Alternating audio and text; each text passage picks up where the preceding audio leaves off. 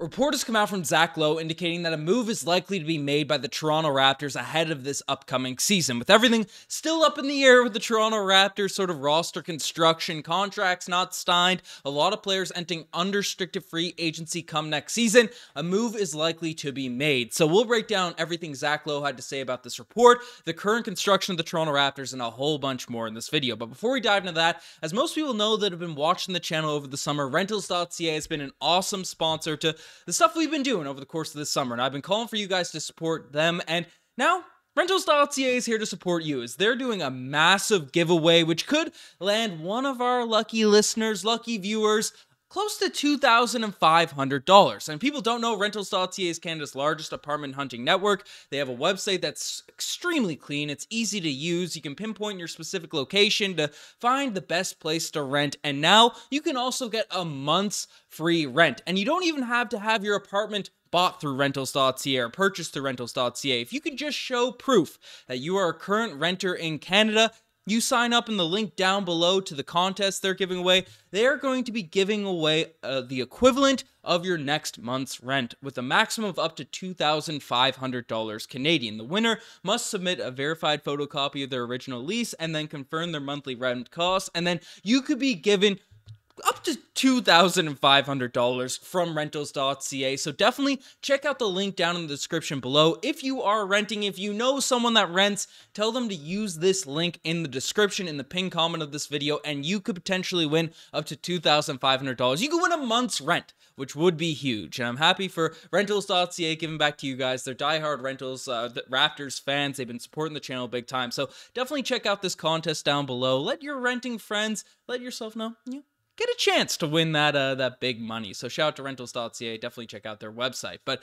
we have some exciting stuff to dive into regarding the Toronto Raptors. And this summer has been filled with speculation, with Instagram cryptic messages, with tweets coming out from apparent insiders that big moves are going to be made. And frankly, it all does make sense as the current roster construction for the Toronto Raptors doesn't really make sense as we currently have Pascal Siakam, who is eligible for an extension, who wants to be extended by the Toronto Raptors. And if we let him go and potentially win All NBA, we'll have to give him a supermax contract if he's going to stay with the Toronto Raptors. And with all that being the case, the team still doesn't really have that intention, still doesn't really uh, haven't made any public steps in terms of making a contract extension happen with Pascal Siakam. So that whole drama, that whole cloud is still looming over Toronto Raptors fans, looming over the organization. OG Anunoby has made it known. He's hired a new agent, right? In order for him to get a bigger role for this upcoming season, he wants the ball in his hand so he can prove what he's worth, show what he can do out there on the court, and more importantly, land a massive, massive contract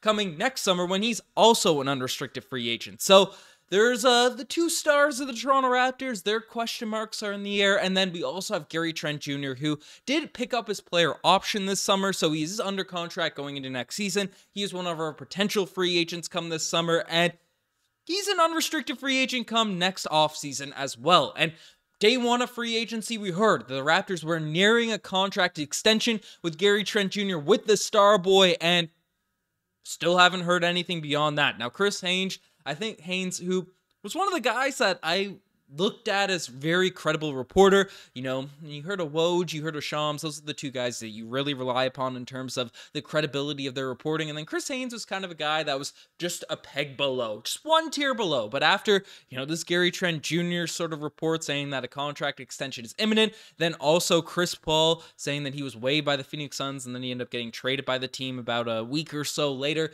right? His credibility is kind of phone off. And now we have some updates in terms of what the Toronto Raptors are going to do with the future of this team, with stuff that's coming out. A Zach Lowe of ESPN, who's another guy that I'd still sort of put in the Chris Haynes range. He's above certainly those sort of, you know, he's not an aggregator by any means. He's not one of those guys that's kind of a flimsy insider that has a lot of connections and just sort of spouts everything that's going on. Zach Lowe, he speculates a little bit. He has some insider info and he had some interesting comments regarding the Toronto Raptors. And their potential plans over the next six weeks as we head into this upcoming season. As he basically said, that Lowe suggests that he wouldn't be surprised if the Toronto Raptors made some sort of move in the next six weeks, noting the team still has multiple key players entering contract years, including Pascal Siakam and OG Anunoby, and has yet to complete an extension for Gary Trent Jr.